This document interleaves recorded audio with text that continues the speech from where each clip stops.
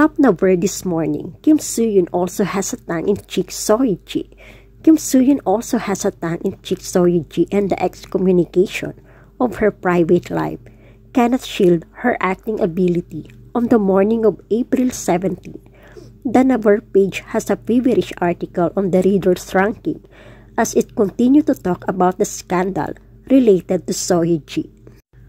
What surprised readers, however, were Kim Soo-hyun comments on Seo Ye-ji.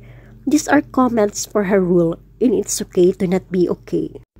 Actor Seo Ye-ji stood at the center of controversy day after day due to the excommunication of her private life in a rush of suspicion of biting the tail on the tail. Actor Kim Soo-hyun also quickly lost the light of his acting ability in It's Okay to Not Be Okay, Seo Ye-ji plays a character named Moon Young.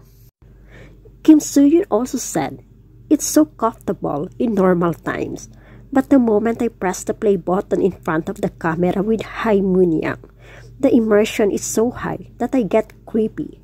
Thanks to Seo Ye-ji, I get energy and stimulation, and I'm studying a lot. It was enough. The popularity continued even after the drama ended. In the advertisement for the web novel Man of the Harem, the character of Ko Moon Young appeared as a projected figure and appeared in various commercials and enjoyed the second heyday completely. This makes Naver think that it is her true personality.